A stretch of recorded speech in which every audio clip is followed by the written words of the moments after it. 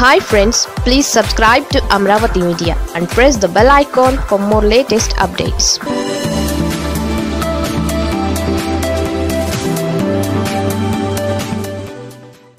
Chiranjeevi Balayya నిర్మాతలు భయం భయం. కరోనా భారతీయ సినీ పరిశ్రమను ఎలా దెబ్బతీసిందో కళ్ళ ముందే కనబడుతోంది. ఇప్పుడిప్పుడే ప్రేక్షకులు థియేటర్లకు రావడం ప్రారంభించారు.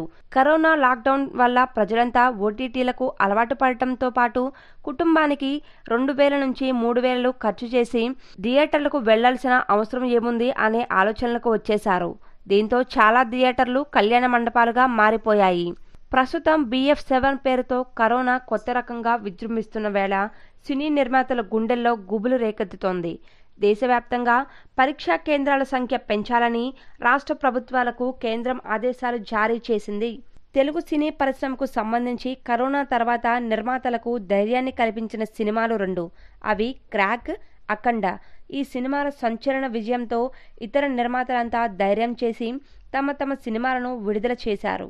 ఈ పరిస్థితులన్నీ సాధారణమవుతున్నాయి అనుకుంటున్న తరుణంలో బిఎఫ్ సెవెన్ కేసులు నమోదవుతున్నాయి.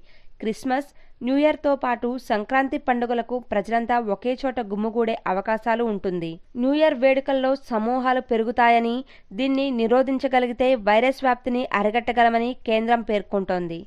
సంక్రాంతికి మైత్రి మూవీ మేకర్స్ సినిమాలు వీరసింహారెడ్డి వాల్తేరు వీరయ్యతో పాటు శ్రీ వెంకటేశ్వర క్రియేషన్స్ పతాకంపై వారసుడు డబ్బింగ్ సినిమా విడుదల కాబోతోంది.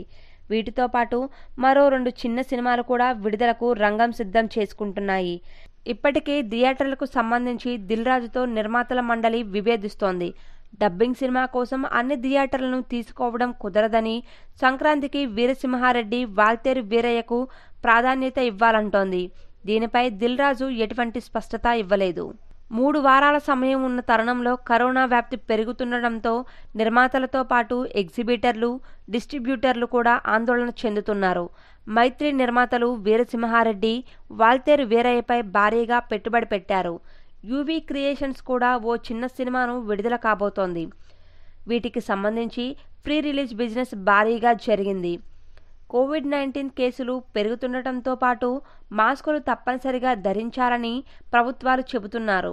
కేసుల సంఖ్య మరింతగా పెరిగితే థియేటర్ను మూసివేయమంటారేమోననే సరికొత్త ఆందోళనను పరిశ్రమ వర్గాలు వ్యక్తం చేస్తున్నాయి. మరోవైపు చైనాలో మరణాలు నమోదవుతున్నాయి. దీంతో మన దగ్గర కూడా మాస్కులు ధరించి బయటకు వస్తున్నారు. కోవిడ్ ప్రభావం లేకపోతే పర్వాలేదు కానీ ఉంటే పరిస్థితి ఏమిటి అనే సందేహంతో కూడిన ఆందోళన నిర్మాతలను వేధిస్తోంది. మరి ఏం జరుగుతుందో చూడాలి.